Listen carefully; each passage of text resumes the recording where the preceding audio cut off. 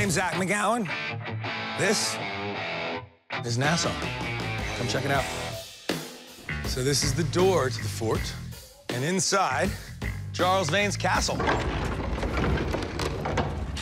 The fort walls that you see, where Hornigold used to sit, is all up on top of there. And this is the courtyard, which you haven't seen. And you'll see a bunch of the characters doing a lot of cool stuff.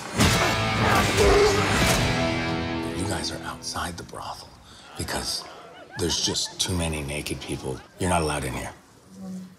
Actually, you can come in. There's no one here.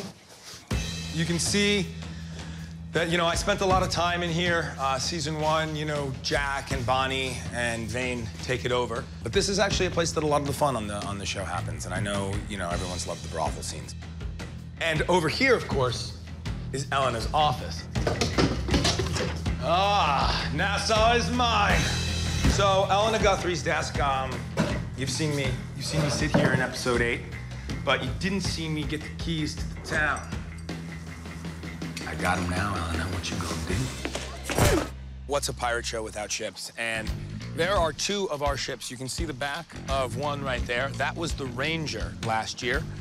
And that in front of you was the Walrus last year. We use them a bit interchangeably. When you're watching the show, if you're thinking that it's all CGI or anything like that, it's not. We have, we have really amazing uh, boats here. As far as what goes on that deck, that's, that's really us running around on the wood.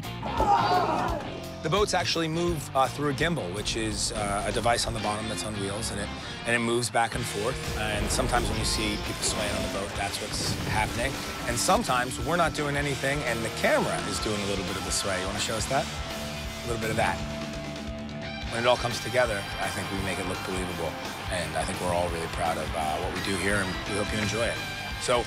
Thanks for taking a little bit of a tour of the Black Sails world with me. Make sure you tune in for season two.